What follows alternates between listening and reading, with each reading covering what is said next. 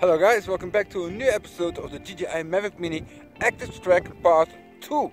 Because in the first part we had some issues. First of all, there was not so much light, so we had a lot of problems tugging and locking on somebody. But then really locking so it followed you, that failed so many times because of several different issues that we had or errors that we got in the screen. Plus it was very difficult to place the drone where I wanted to because the right stick from pitch and roll just didn't work. The up and down and yeah. So in part 2 we're going to try and fix a couple of those issues that we run into in part 1. Hopefully now with the sun shining in my face we'll be having a lot better connection with the active track because it's not like follow me mode, it doesn't work on GPS, it's all got to do with the camera. So I believe when there is much more sunlight it should be easier to active track an object and follow it. Let's start the episode. Take off.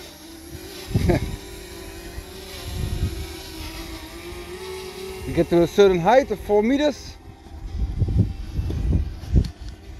Let the camera point down. Okay, that's all nice. Let's go to active track.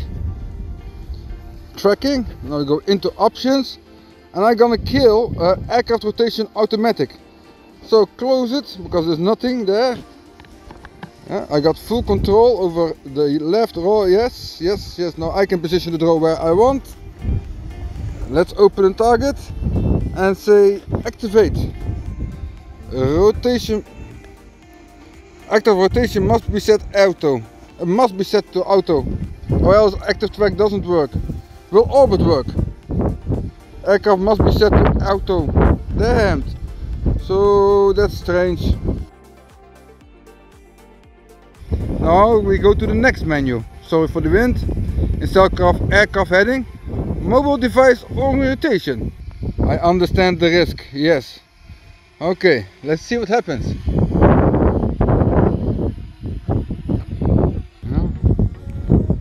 It's following me just like normal. Doesn't do anything. And what happens if I walk straight up to it? Will it fly backwards or will it turn around? Still got me a target? Oh, it's going issues, it, get, it has issues. Because probably it's looking into the sunlight. Okay, now let's walk up to it. It will fly backwards. But if I walk sideways, it will just turn around its axis and then follow me from the back. Oh, it lost me. Or is it following my shade? Hey baby. Yeah, it's following my shade instead of me. Haha, funny. Well, I go to FPV. Now I can place the drone where I want it to be. Okay. Now we go an active track. And activate. No. And now, yes. Okay, bright sunlight. It should be able to follow me. Hopefully it doesn't confuses me with my shadow. It's already trying to lock my shadow. Yeah, it's following my shadow instead of me.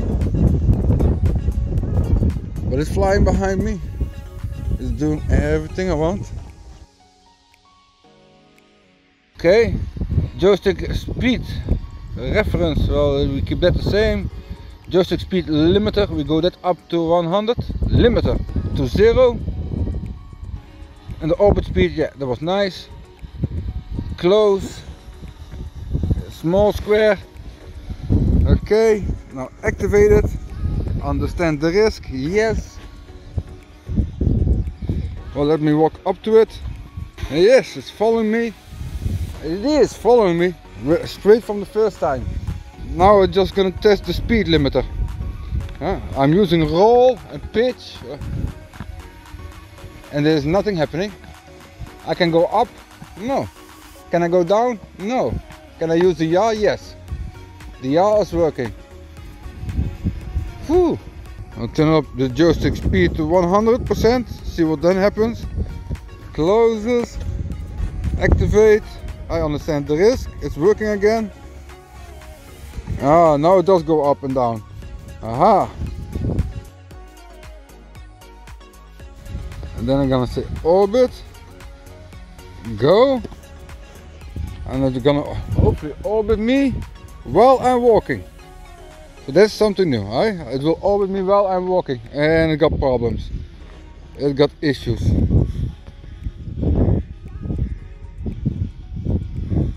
It, continues over, but it was probably because it was looking into the sun. That is giving, of course, some difficulties. But I, it's orbiting me while I'm walking. Yes, yes, yes. Yes, yes, yes. So that does work. It does work. And now it's got me a, lot, a little bit better because now it's have the sun in the back. Uh, it's got issues again. So I'm start standing still. Oh, it needs to land. The battery is almost empty.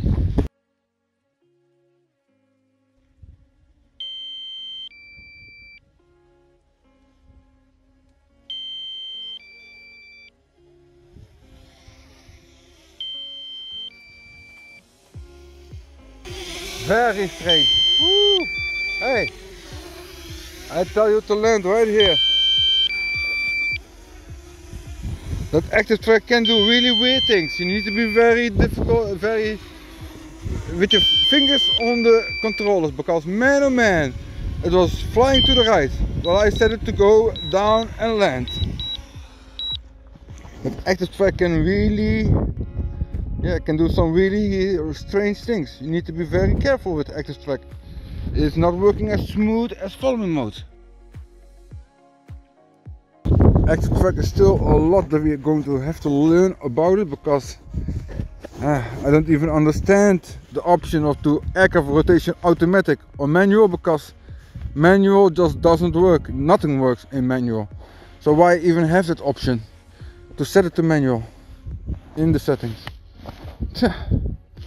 yeah, to get in issues, but it takes too long. It's much easier to click FPV, so you get full control over the drone again and just go out of active track because active track, well, it's not perfect yet. Definitely, it's not perfect yet and can be quite scary to fly it and to use it. And just like that orbit speed, can be very, very difficult. And the joystick reference is hmm, still I don't find any difference between the mobile device orientation, home aircraft bearing or mobile device aircraft bearing or default. It's all working very similar. Except for one thing that we did find out is of course the joystick speed limiter. If you change it to zero, going up or down in altitude does not work. You need to have it at least 75% or 100, but at least something. Zero is not good. And on a bright sunny day as today, it's working 10 times better than it's doing on a cloudy day. Still, it's not perfect and it will lose connection a lot of times. So there's still a lot of work for the Litchi app to do. I hope they will give an update very soon. I want to thank you all very much for watching. If you like the DJI Mavic Mini, then check out the links down below. You'll find a lot of spare parts and upgrade parts that you like to know. And if you're new to this channel and you like this episode, then go ahead and please subscribe. And I hope to see you next time. It's to DC signing off. Goodbye.